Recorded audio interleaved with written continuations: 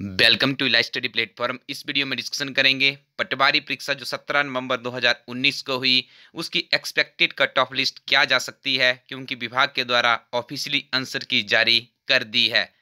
साथ में आपको ये भी बताएँगे एट प्रेजेंट यदि हम बात करें तथ्यों के आधार पर फैक्ट्स के आधार पे, परीक्षा रद्द होने की संभावना कितनी है? यदि ऐसा भी नहीं हो पाता है तो आगे कौन कौन सी परीक्षाएँ आने वाली है जिनके ऊपर आप अपना ध्यान केंद्रित करें, यदि आप हिमाचल प्रदेश सरकार में नौकरी प्राप्त करना चाहते हो, ये सारी जानकारी आपको इस वीडियो में उपलब्ध करवाई जाएगी। यदि आपको किसी भी तरह की अध्ययन सामग्री चाहिए तो आप हमारी वेबसाइट इलास्टडी को डॉट इन के ऊपर विज़िट कर सकते हो।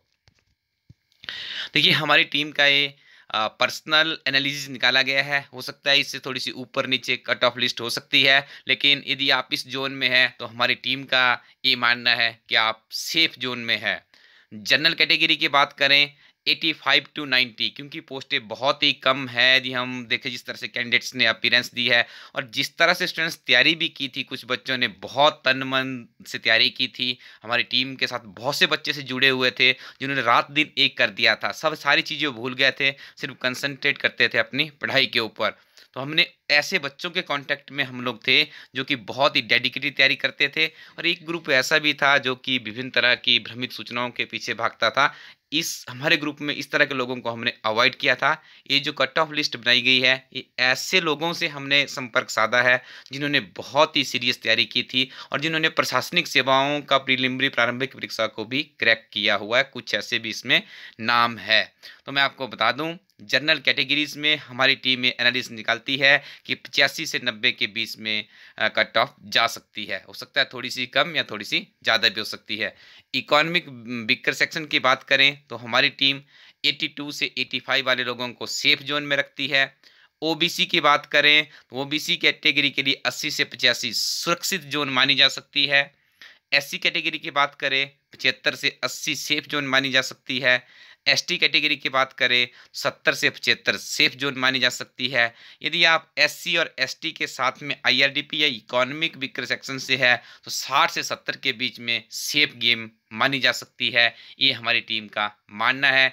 कृपया आप भी कमेंट सेक्शन में अपने विचार हमारे साथ साझा करें ताकि हम इसका और भी ओवरव्यू कर सकें। अब आगे आपको बता देते हैं कि आपकी कमियाँ कहाँ रही होगी? देखिए, जैसे मैंने आपको बार बार बोलता था, यदि आपने मेरे वीडियो ध्यान से सुने होंगे कि आप ओल्ड क्वेश्चन पेपर को बार बार पढ़े बार बार पढ़े, उससे आपको पता चलना था अटेम्पटेशन क्या है, किस चीज़ को आपने पहले मैथमेटिक्स को करना है इंग्लिश को करना है हिंदी को करना है जीके को करना है, कहाँ पर किस चीज़ को कितना बेटेज देना है, ये सारा कंक्लूजन आपका ओल्ड क्वेश्चन पेपर से बनना था। इसके अलावा मैं आपको एक और बात बताता था कि आप विभिन्न तरह के ओल्ड क्वेश्चन पेपर भी पढ़ें, क्यों पढ़ें? ताकि आपको एग्जामिनर के एट प्रेजेंट स्टेटस का पता चल सके, क्योंकि पटवारी की परीक्षा में कुछ ऐसे विद्यार्थियों ने व्हाट्सएप के माध्यम से या फेसबुक ऐसा बताया है कि किसी एक परीक्षा से बहुत से प्रश्न वहाँ पर रिपीट हुए हैं, ठीक है? तो देखिए स्टूडेंट्स रिपीट हुए यदि आपने भी वो पढ़ ली होते तो शायद आप भी पटवारी होते। तो मैं आपको बोलता हूँ, कोई भी परीक्षा यदि आपके सामने आजकल यूट्यूब के आपको घर बैठे निःशुल्क में मिल जाती एक बार सुन लीजिए, उनको बहुत से प्रश्न आपके दिमाग में बैठ जाएँगे और जिन प्रश्नों को हम ओल्ड क्वेश्चन पेपर में पढ़ते हैं तो स्टैंड को कभी भी हमारे दिमाग से नहीं भूलते हैं, ये आप अपने ऊपर भी इसका एग्ज़ाम्पल ले सकते हो, ठीक है? दूसरी बात थी, सबसे बड़ा प्रश्न था जो आपसे पूछा गया था दूसरा इस वीडियो में, परीक्षा रद्द होने की संभावना कितनी है? देखिए स्टैंड कोई मज़ाक तो ये हो नहीं रहा है तीन लाख कैंडिडेट्स को आपने बैठाया है। कुछ त्रुटियाँ इसमें ज़रूर थी, लेकिन मैं आपको एक बात बताऊँ, जहाँ तक मुझे कुछ इंस्ट्रक्शंस मिली थी, ठीक है, जितने मेरे पास अपनी अपनी कैपेबिलिटीज़ थी उन इंस्ट्रक्शंस को समझने में तो उसमें यह भी कहा गया था, यदि किसी को किसी भी कीमत पे कोई भी कैंडिडेट परीक्षा से नहीं छूटना चाहिए। मतलब इसका ये था कि यदि किसी कैंडिडेट से दो रोल नंबर्स इशू हो गए थे या कोई और कैंडिडेट्स कहीं किसी सेंटर में नहीं पहुँच पाया, लेकिन वो आपके सेंटर में या गलती से आ गया था तो वहाँ पे आपने उसको भी अलाउ करना था और उसका भी एग्जामिनेशन लेना था। लेकिन देखिए, इसमें हो सकता है जो सुप्रिंटेंडेंट थे कुछ तरह की वो समझ नहीं पाए या क्या जो भी रहा इसमें, ठीक है? समाचार पत्रों के माध्यम से ही प्राप्त हो पाई, जो भी जानकारी है। लेकिन देखिए, विभाग ने यहाँ पे क्लियर शब्दों में आंसर की इसकी जारी कर दी है। यदि आपको लगता है कि आंसर की में कोई त्रुटि है तो 20 नवंबर 2019 तक पाँच बजे तक आप उसका ऑब्जेक्शन ईमेल के माध्यम से भेज सकते हैं। आंसर की के नीचे वो भी बताया गया है।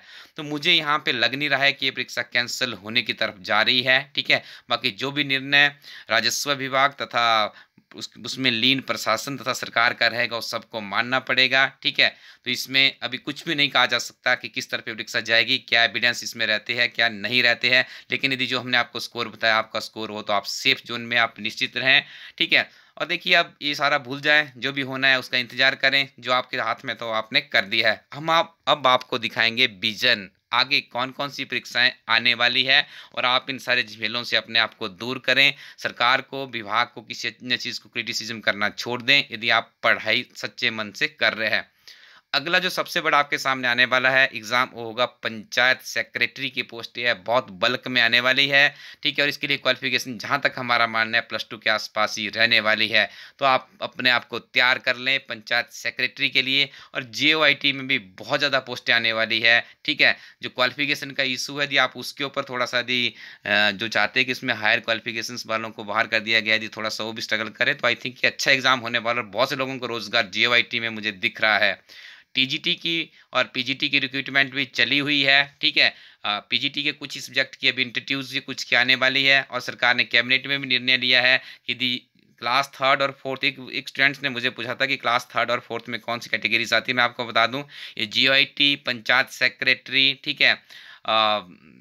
अदर्स आपकी क्लर्क की बात करें टीजीटी पीजीटी ये सारी की सारी जो कैटेगरीज है, ये क्लास थ्री में आती है। क्लास फोर का तो आपको पता ही होगा पीएन हो गए एटसेट्रा इस तरह की जो पोस्टें होती है क्लास फोर में आती है, ठीक है?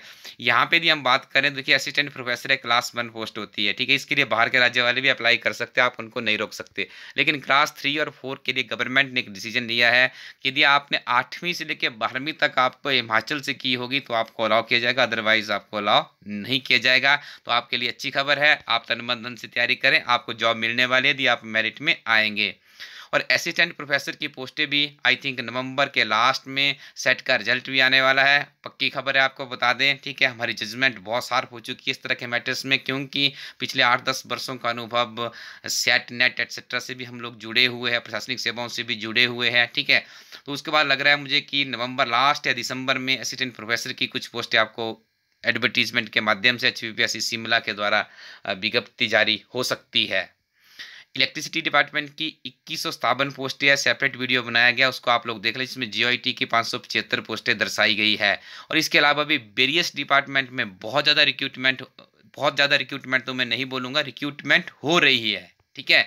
यदि आप बस इन भ्रमित सूचनाओं से बचें, अपने आप को पॉजिटिव रखें, पढ़ाई की तरफ़ अपना ध्यान रखें मैं आपको ऐसा नहीं कह रहा हूँ कि आप किसी और तरफ़ ना जाएँ, ठीक है जी? आपको लग रहा है गलत हो रहा है तो आप उसका ऑब्जेक्शन ना करें, उसका भी आप लोग डेमोक्रेटिव तरीके से, लोकतांत्रिक तरीके से उसका भी ऑब्जेक्शन करें, लेकिन आपका मेन उद्देश्य होना चाहिए पढ़ाई पढ़ाई और पढ़ाई, ठीक है? तन मन धन से करनी यदि इस टेस्ट में कुछ कमियाँ रहेगी आपसे तो अगले टेस्ट के लिए आप उनको दूर करें विभिन्न तरह के डिपार्टमेंट्स में कुछ ना कुछ पोस्टें निकल ही रही है, ठीक है? और आपको तो एक ही पोस्ट चाहिए, आपको ज़्यादा पोस्टों की आवश्यकता नहीं है तो आपकी एक पोस्ट भी होगी, उसके लिए भी अपना दावेदारी दें और अपने तन मन धन से उस पोस्ट को समर्पित करें तो आपको नौकरी ज़रूर मिलेगी।